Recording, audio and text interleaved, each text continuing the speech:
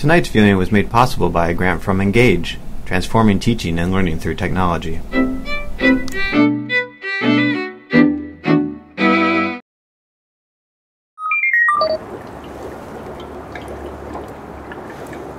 Oh, hello.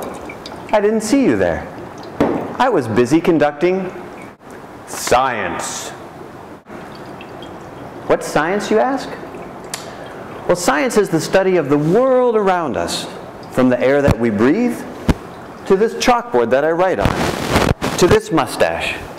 We understand all these things because of science.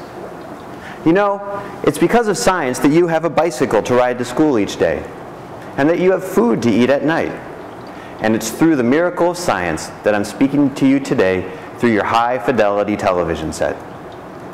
You know, there's one component of science that I think that you'll find extremely interesting, and that's biology. Biology is the study of life. But you know, rather than me explain it to you, why don't I show you? I think you'll enjoy it. Come with me.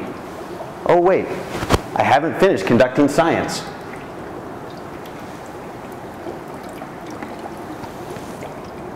There, that should do. We'll let science take over from here. Follow me. Okay, are you ready to get started?